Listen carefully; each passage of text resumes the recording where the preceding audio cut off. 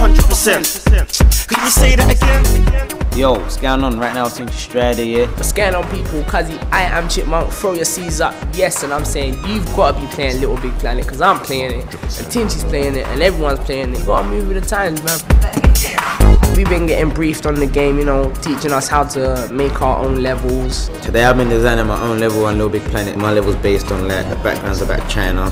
There ain't no time limit or nothing. You're just trying to get to the end to beat the boss and pick up points on the way. They could be above like ice spikes. My level is is very icy. You get a polar bear on your team. There's a whole bunch of stuff in there, man. It's pretty cool.